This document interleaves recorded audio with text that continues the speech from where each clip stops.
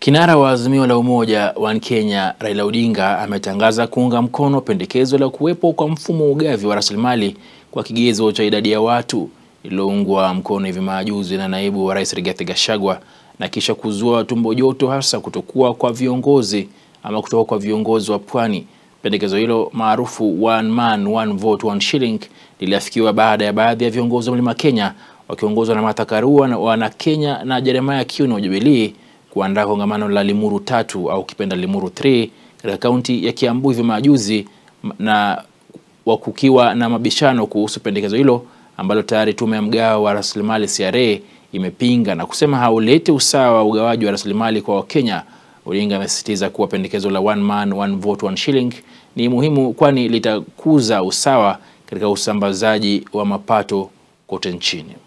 Kiongozi wa muungano wa Azimio Raila Odinga ametangaza kuwa anaunga mkono pendekezo la ugavi wa rasilimali la one man one vote one shilling kama ilivyopendekezwa wakati wa mkutano wa viongozi wa Mlima Kenya Limuru 3, usemi wake ukitarajiwa kuzuia semi tofauti miongoni mwa viongozi. Akizungumza baada ya kupokea nakala ya maazimio ya Limuru 3 jijini Nairobi, Odinga amebainisha kuwa Kenya inapaswa kufanya mazungumzo haya kwani huo ndio mkondo sahihi kwa nchi. Kulingana na kiongozi huyo wa upinzani, mfumo huo hautasababisha ubaguzi bali utahakikisha kila Mkenya anapata mgao wa rasilimali unaofaa.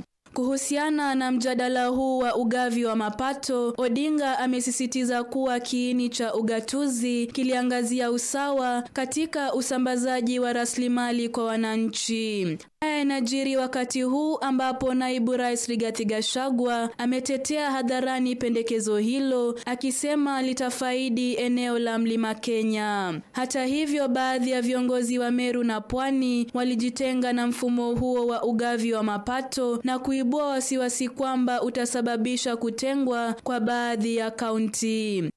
Nikiripotia Dira, mie ni Grace Ahati.